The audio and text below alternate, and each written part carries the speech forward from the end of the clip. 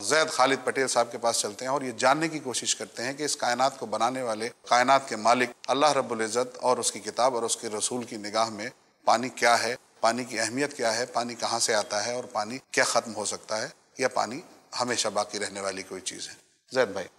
अल्हम्दुलिल्लाह वस्सलात वस्सलाम अला रसूलिल्लाह वसाबी अजमीन इससे पहले कि मैं आपके सवाल का जवाब दूँ मैं आपकी एक बात से थोड़ा डिफर करना चाहूँगा कि वो जो पानी जो ग्लोब का 71 परसेंट वाटर है वो वाटर का अपना बहुत बड़ा रोल है। हम ये देखते हैं कि जो दुनिया भर में पानी है उसका 97.5 परसेंट पानी सॉल्टी है। सिर्फ़ 2.5 परसेंट वाटर है जो फ्रेश है। यानी कि अगर सिवियरिटी इमेजिन करेंगे ये इतना सिवियर मामला है कि सिर्फ़ ढाई टका पानी फ्रेश है और वो ढाई टका पानी का 0.3 परसेंट पानी है जो सरफेस पे है। इसमें से बहुत बड़ा तबका है जो ग्लेशियर्स में लॉक्ड है और बाकी ग्राउंड वाटर है, लेकिन सरफेस वाटर सिर्फ़ 0.3 परसेंट है। तो हम ये देखते हैं कि ये जो 0.3 परसेंट है, ये हमारे सर्वाइवल का हिस्सा है। लेकिन अल्लाह ताला जो इंसानों का बनाने वाला, हम सबका मालिक एक ही है। हम सब उसी के बनाए हुए क्रिएशन है, सबके अंदर एक ही खून है और सबको एक ही पानी पीना है। तो हम ये देखते हैं कि ये पानी बनाने वाले मालिक की प्लानिंग भी है। जैसे हम देखते हैं कि हमारा अक्सर हिस्सा पानी का 97.5 परसेंट पानी तो सॉल्टी है, और सॉल्ट भी इतना सिवियर कि बीच में एक रिसर्च जो न्यूज़पेपर्स में आई थी, उसमें आया कि अगर सारा के सारा सॉल्ट जो समंदरों में से निकाल करके ज़मीन पर फैला दिया जाए तो इतना 500 मीटर से ज़्यादा, यानी 40 माले की बिल्डिंग से ज़्यादा सॉल्ट का पूरा के पूरा लेयर पूरा ज़मीन पे आ जाएगा, इतना सॉल्ट है उसमें। अब ये जो सॉल्टी वाटर है, इस सॉल्टी वाटर का एक बहुत बड़ा रोल है। क्यों?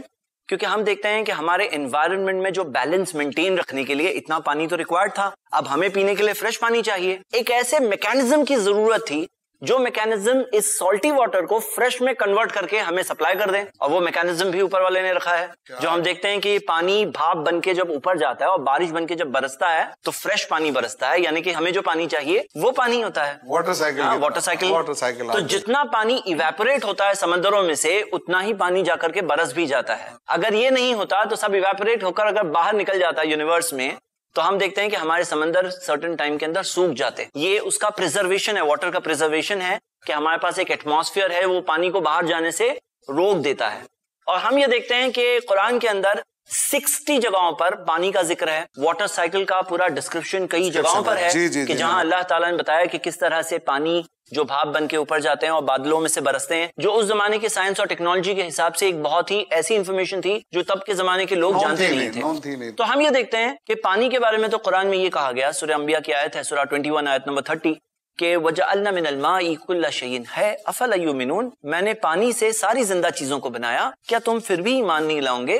तो हम देखते हैं कि सारी की सारी ज़िंदा चीज़ें, उसके अंदर सारी चीज़ों के अंदर जो बेसिक बुनियादी सब्सटेंस है, वो सेल है। और सेल के अंदर 60 टू 80 परसेंट पानी होता है वाटर होता है। जो साइटोप्लाज्म जो सेल का बेसिक कंपोनेंट है, उसमें 60 टू 80 परसेंट वाटर होता है।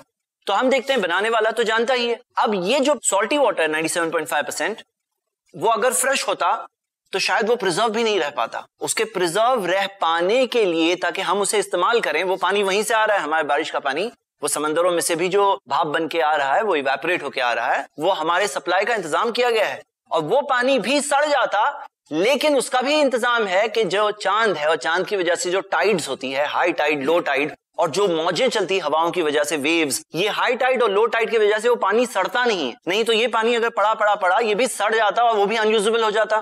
तो हम देखते हैं कि उसके प्रिजर्वेशन जो हमारा आज का टॉपिक है वाटर प्रिजर्वेशन वाटर प्रिजर्वेशन में ऊपर वाले ने बहुत सारे सिस्टम्स रखे हैं लेकिन यहाँ पे फसाद करने वाला इंसान भी है जो इंसान जाकर बहुत सारी चीज़ें खराब कर देता है।